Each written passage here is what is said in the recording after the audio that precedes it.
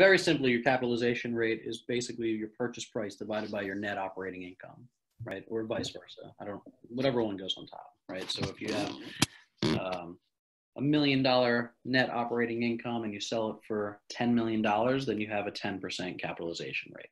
So Right. commercial real estate is valued typically based on cash flows so your noi and then what the market is typically showing for cap rates right so if you are buying a single family house in a rural part of ohio you should probably expect to see 15 to 18 percent capitalization rates right it's more risky so you'll see higher rates um, in major metros i mean there's there's something that just traded in manhattan for a 2.75 cap rate but international investors look at New York City as a bond. They don't think that the market is going to move very much on them. You, you'll get appreciation over time. So they just, so a 2% cap rate, I would never buy something that's making me 2% on my money. But people are banking on appreciation. They're taking depreciation. They get some tax benefits.